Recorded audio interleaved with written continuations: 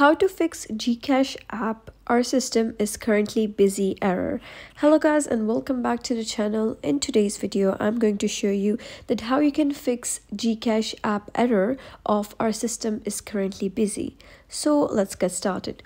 First thing first that you got to do is go to your iPhone storage. So just go to your settings, go to iPhone storage and find a particular app. So the app is Gcash. So what you can do is just click on force stop the app and after that the application would get stopped and then you can reload the application and that issue of our system is currently busy would be resolved the second thing that you can do if the first issue didn't work, if the first solution didn't work, then you gotta just come to the iPhone storage again, select the application and click on clear cache and data.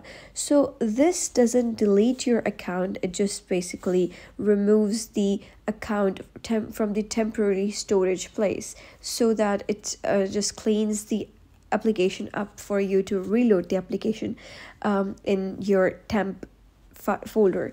So if that doesn't resolve your issue, what you can do is just go to your Play Store and here just search for Gcash application. Click on search and after that you'll be able to see the Gcash application among the list.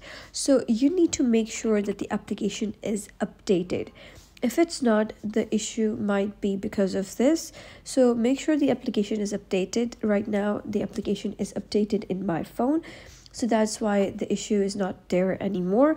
But if the app is updated and the issue is still there you can try restarting your phone.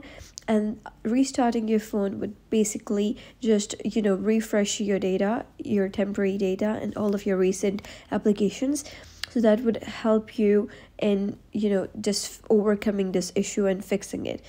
But if the issue is still there then you need to come back to your settings and you need to make sure that you're connected to a very strong wi-fi network.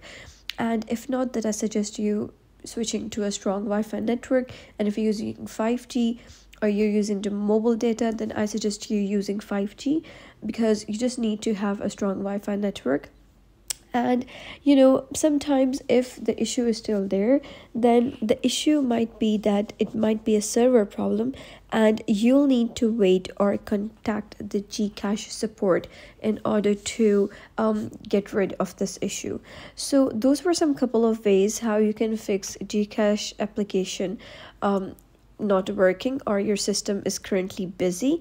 So if you found this story helpful, give it a thumbs up and don't forget to subscribe for more helpful tutorials.